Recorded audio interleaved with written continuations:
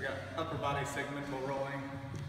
So similar to the lower body, arms overhead, this time you're gonna reach with your arm. So trying to reach the wall, and you're reaching over, letting that lower body just kind of flop over at the end, and then you open up the chest,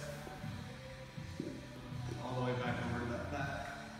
Trying not to push with your legs at all. Open it back up, like so.